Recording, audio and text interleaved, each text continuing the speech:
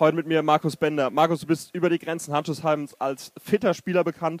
Wie hat dir die heutige Zumba-Stunde denn gefallen? Es war sehr lehrreich, ich habe meinen Körper neu kennengelernt und ähm, ich weiß jetzt, wie ich meinen Körper besser beherrschen kann während dem Spiel, um eine effizientere Laufleistung zu gewährleisten.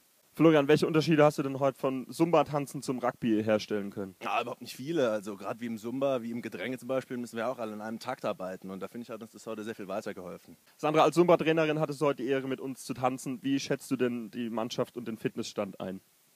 Ja, also ähm, ich bin auf jeden Fall begeistert von der ganzen Mannschaft. Ich denke auf jeden Fall, dass der, ähm, das Fitnessniveau sehr, sehr, sehr hoch liegt. Ähm, sowohl im Ausdauer- als auch im koordinativen Bereich. Also da werden die Jungs auf jeden Fall noch viel für Training umsetzen können von heute, denke ich doch. Moritz, wie kannst du denn das heute gelernte Tanzen für das erste, Heim, äh, für das erste Spiel gegen die RGH umsetzen? Äh, ich glaube, vor allem im Bereich der Beweglichkeit habe ich zumindest und wahrscheinlich der Rest von der Mannschaft auch gemerkt, wo es ein bisschen hapert und da weiß man dann, wo man noch mehr dran arbeiten muss. Hat gut getan. Herr Strohmeier, wie können Sie aus der heutigen Trainersicht die Tanzstunde denn einschätzen? Ja, im Sport ist es so, man wird an Erfolgen gemessen und nach dem, was ich heute gesehen habe, ist es durchaus als Erfolg zu bezeichnen, dass sich keiner im Krankenhaus wiedergefunden hat.